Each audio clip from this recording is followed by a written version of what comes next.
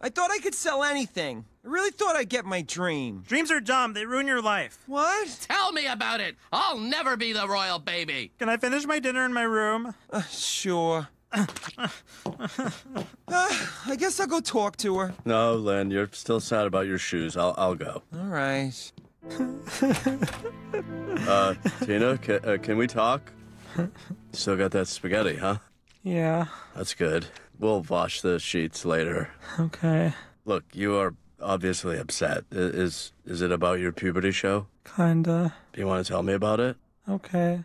But if I tell you then I'm telling you another kid's secret, do you swear not to tell? I think so, as long as it's not murder. It's not. Good. Well, there's gonna be 45 minutes to spin the bottle at Jocelyn's party. Okay. But I got uninvited because now I'm mononucleosis, the face of anti-kissing. Oh, uh, that sounds bad. Yeah. And Mr. Frond told me I could be the new permanent soloist, but if I do the show tomorrow, no one will ever want to kiss me ever again. Okay. First of all, people will want to kiss you again, Tina. Really? Yep. Boys? Yep. Wow, what do they look like? It's a hypothetical. It's Tan?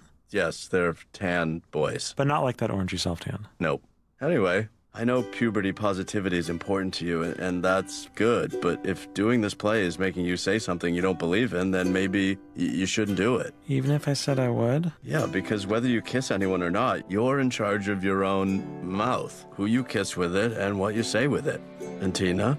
Are you gonna say you have to tell on Jocelyn's party? No, I was going to ask you if you wanted me to get you a handful of ice cream.